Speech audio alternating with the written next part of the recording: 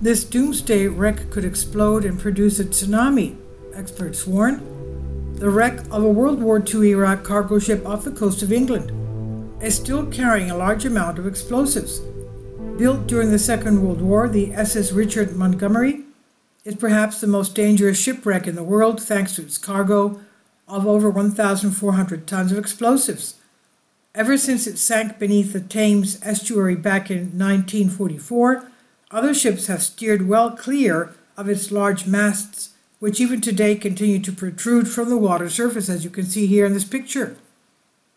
Most worrying of all, however, is the fact that its explosive cargo still has the potential to detonate, especially if another ship were to accidentally collide with its masts. In a worst case scenario, in which the vessel's entire ordnance explodes at the same time, it could send a potentially catastrophic tsunami up the River Thames in the direction of London.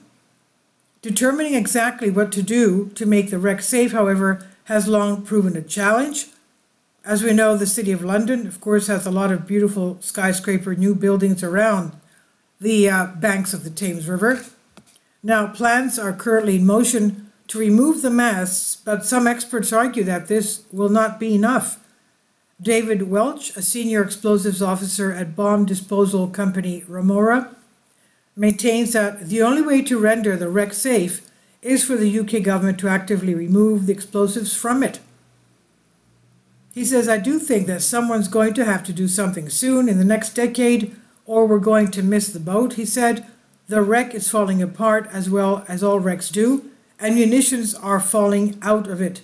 Over time, that's only going to get worse, and then you'll have you'll end up with an uncontained area of munitions. There are small fishing vessels in the area.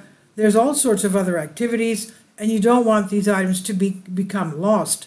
And if you fast forward 100 years, the likelihood is the wreck will not be there, but the pile of munitions will.